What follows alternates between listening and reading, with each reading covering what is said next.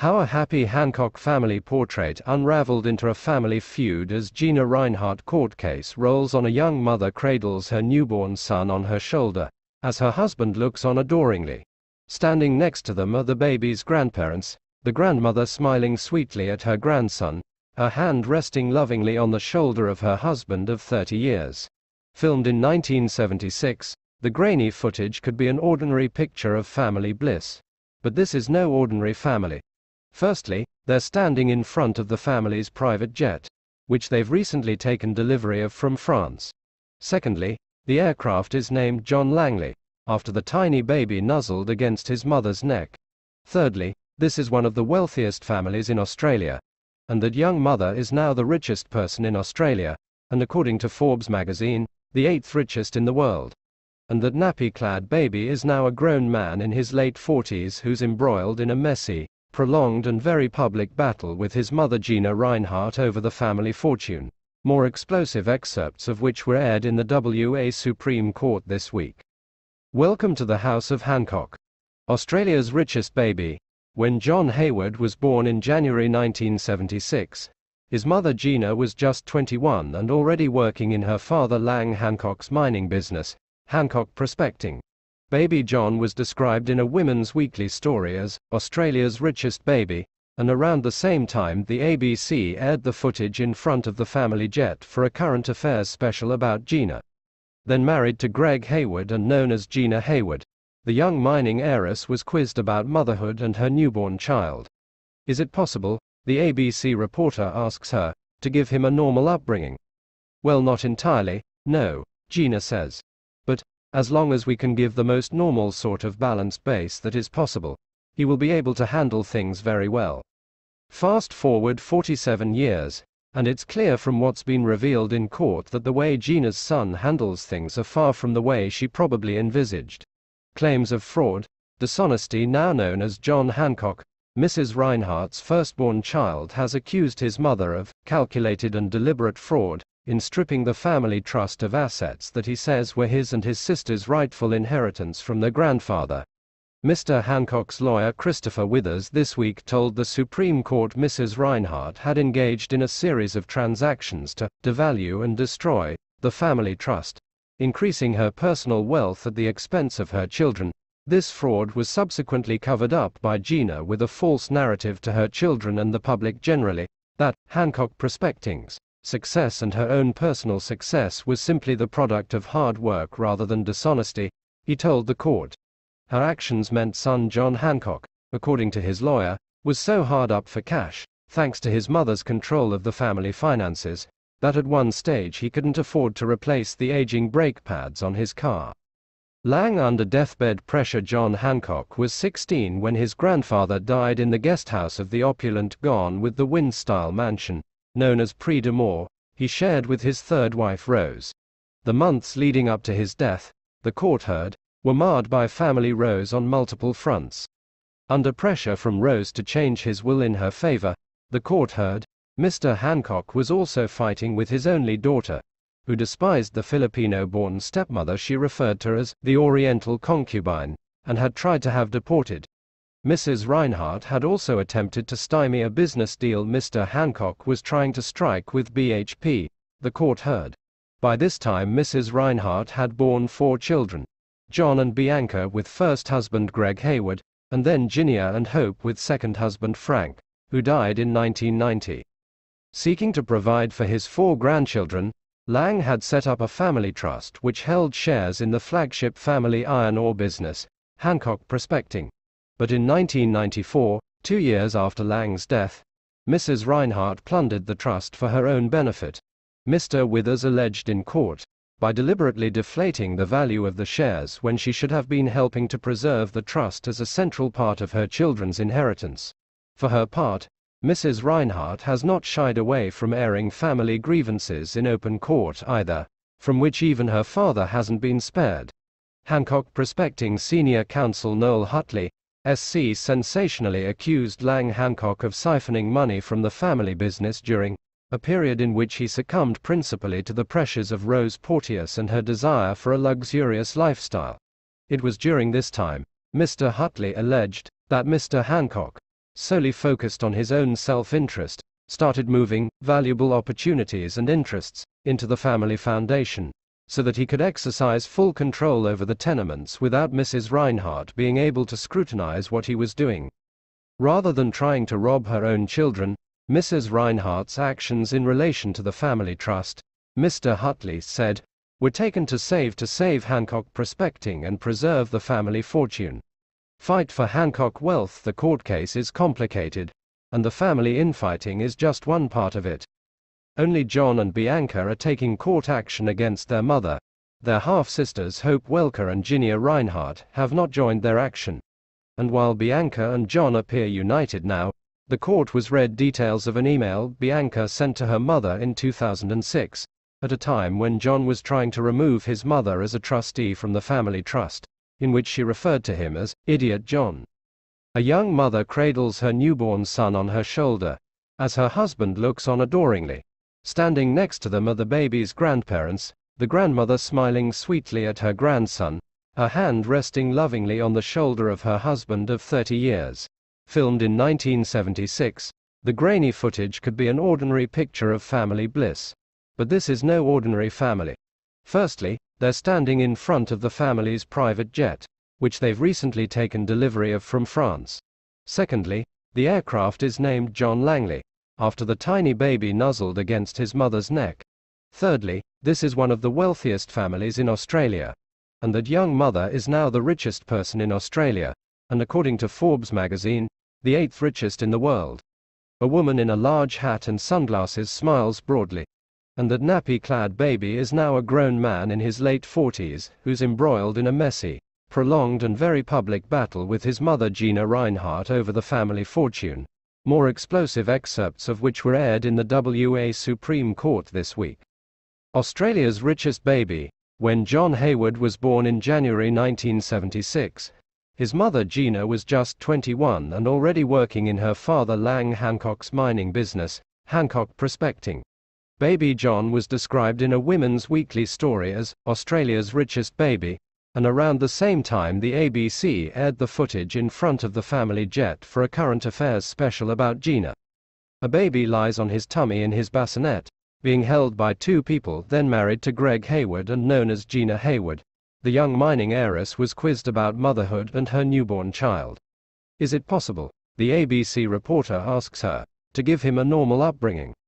The Hancock family during the 1970s, shortly after John Hancock's birth, well, not entirely, no, Gina says. But, as long as we can give the most normal sort of balanced base that is possible, he will be able to handle things very well. A young mother cradles her baby as the father looks on in front of an aircraft fast forward 47 years. And it's clear from what's been revealed in court that the way Gina's son handles things are far from the way she probably envisaged. Claims of fraud, dishonesty now known as John Hancock, Mrs. Rinehart's firstborn child has accused his mother of calculated and deliberate fraud in stripping the family trust of assets that he says were his and his sister's rightful inheritance from their grandfather. Mr. Hancock's lawyer Christopher Withers this week told the Supreme Court Mrs. Rinehart had engaged in a series of transactions to devalue and destroy the family trust, increasing her personal wealth at the expense of her children, John Hancock and Gina Rinehart in 2002. This fraud was subsequently covered up by Gina with a false narrative to her children and the public generally, that Hancock Prospecting's success and her own personal success was simply the product of hard work rather than dishonesty, he told the court. Her actions meant son John Hancock, according to his lawyer, was so hard up for cash, thanks to his mother's control of the family finances, that at one stage he couldn't afford to replace the aging brake pads on his car. Lang under deathbed pressure John Hancock was 16 when his grandfather died in the guest house of the opulent Gone with the Wind style mansion, known as Prix d'Amour, he shared with his third wife Rose. The months leading up to his death, the court heard, were marred by family rows on multiple fronts. An ambulance pictures through wrought iron gates under pressure from Rose to change his will in her favor, the court heard, Mr. Hancock was also fighting with his only daughter, who despised the Filipino-born stepmother she referred to as the Oriental concubine, and had tried to have deported. Mrs. Rinehart had also attempted to stymie a business deal Mr. Hancock was trying to strike with BHP, the court heard. A woman in a white dress sits in a luxury car. By this time, Mrs. Rinehart had borne four children John and Bianca with first husband Greg Hayward, and then Ginia and Hope with second husband Frank, who died in 1990. Seeking to provide for his four grandchildren, Lang had set up a family trust which held shares in the flagship family iron ore business, Hancock Prospecting. But in 1994, two years after Lang's death, Mrs. Rinehart plundered the trust for her own benefit. Mr. Withers alleged in court, by deliberately deflating the value of the shares when she should have been helping to preserve the trust as a central part of her children's inheritance. For her part, Mrs. Rinehart has not shied away from airing family grievances in open court either, from which even her father hasn't been spared. Lang Hancock and Gina Rinehart Hancock Prospecting Senior Counsel Noel Hutley, SC sensationally accused Lang Hancock of siphoning money from the family business during a period in which he succumbed principally to the pressures of Rose Porteous and her desire for a luxurious lifestyle.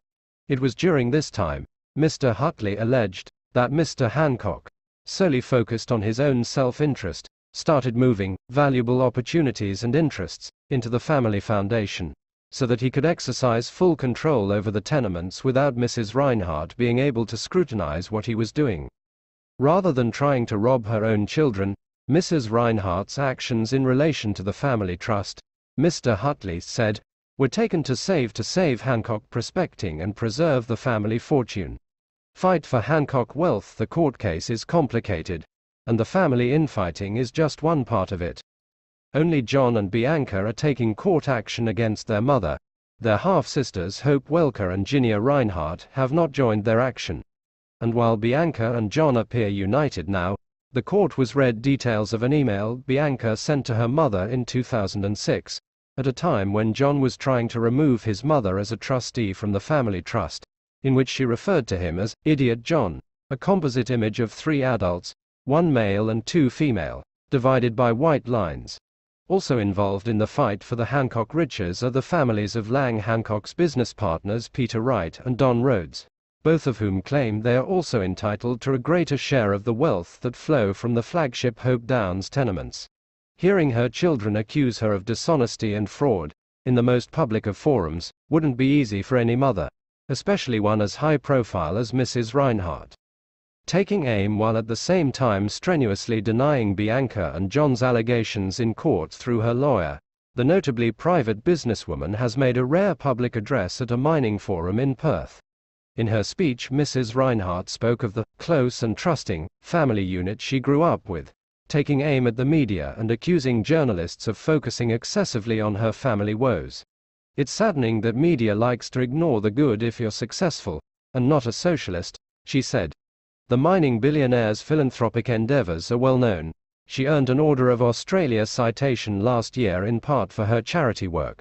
And press releases sent to local media this week detailing her community donations have received considerable coverage in the press and effusive praise from the recipients. Rowing Australia announced the incredible news that Hancock Prospecting will sponsor its athletes for four years. Individual rowers also thanked her in the press release, with Annabelle McIntyre attributing her successful career to Mrs. Rinehart's support and Tom Cleary saying, How blessed we are to have Mrs. Rinehart Howe in our corner. The city of Perth was also fulsome in its praise of Mrs. Rinehart, whom, in its statement about their newly funded rubbish truck upgrades, said, has a strong commitment to the well being of people at Roy Hill as well as many other groups. Meanwhile, the Cat Haven lauded Hancock Prospecting's exceptionally generous funding commitment, and Ms. Rinehart's long-standing personal support. I cannot thank Mrs. Gina Rinehart and Hancock Prospecting enough for their selfless benevolence, and I am truly humbled, Board Chair Robin Orton said in a statement. The generous community donor neither Rowing Australia, the Cat Haven nor the City of Perth would disclose how much she had contributed but the public reminders of the fact Mrs. Rinehart is a generous donor to the community has generated a positive counter-narrative at a time when she's facing serious allegations leveled in court by her two eldest children. For her part, Bianca Rinehart has taken the rare move to step out in front of the cameras this week. She's appeared in court every day as her lawyers laid out the case she and her brother are mounting against their mother, greeting reporters attending the trial by their first names in a friendly manner. The sepia toned pic of a pigtailed, 12 year old Gina Hancock cuddling a cat, released by the Cat Haven this week, encapsulated the warm side Gina sought to portray this week. Less than a decade from when that photo was taken, in the 1976 ABC interview, a 21 year old Gina is asked about what gives her pleasure in life. Well, I'd say mainly my family, and also doing something worthwhile, the she tells the ABC. And it's not just accumulating assets.